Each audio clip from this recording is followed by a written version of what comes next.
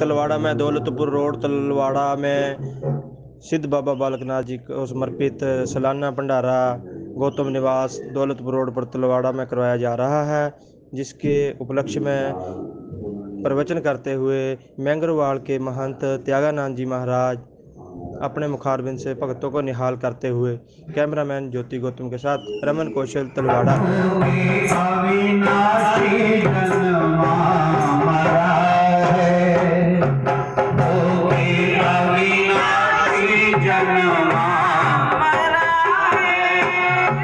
रजूी सर्प देख।